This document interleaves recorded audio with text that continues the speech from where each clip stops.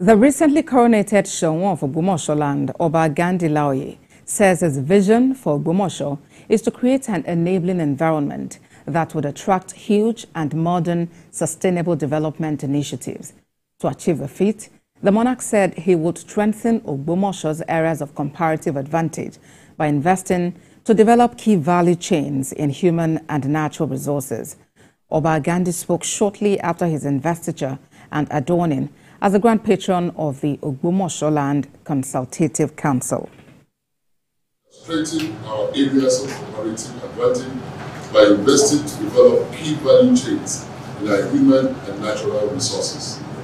In addition, we shall create opportunities for investment through the deployment of technology, knowledge, and skills.